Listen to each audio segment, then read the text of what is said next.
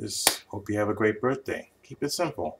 This is someone that you're just newly seeing. And sometimes people fall into the trap of going, well, I really like this person, so I know we're just newly seeing each other, so, but I, I really like this person, so I'm going to write something really nice.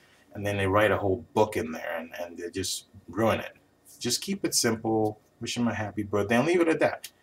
You, this is someone that you're newly seeing. You don't know this person as well as you should yet. So don't get carried away. Just the thought alone and the fact that you wrote something nice and short is sweet enough. And as time goes on, if you two become an item and there's another birthday, then obviously you can you can go all out there. But right now, keep it short, keep it sweet, and don't get carried away. All right, and uh, and that's it. That's the approach you should take. And there you go.